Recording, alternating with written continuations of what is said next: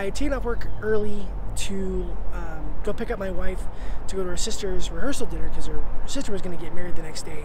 My wife was seven months pregnant, and on my way home, less than half mile away, I get uh, I got hit um, head on by another by another driver. I blacked out, and I don't remember anything anything for 37 days.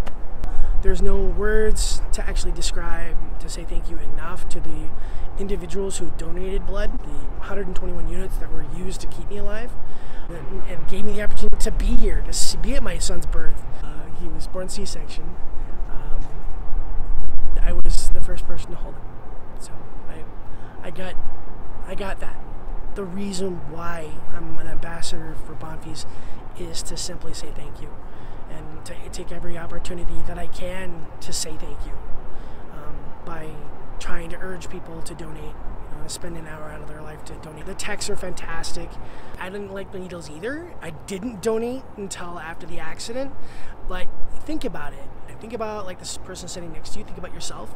Think about a family member who might need to go in for knee surgery, or just uh, the happenstance that events happen that you that are completely beyond your control.